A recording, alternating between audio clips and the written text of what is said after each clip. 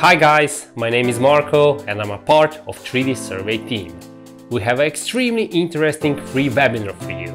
We'll talk about photogrammetry as a tool for forensic documentation. When a road accident happens, the authority must close the road for traffic, sometimes for hours.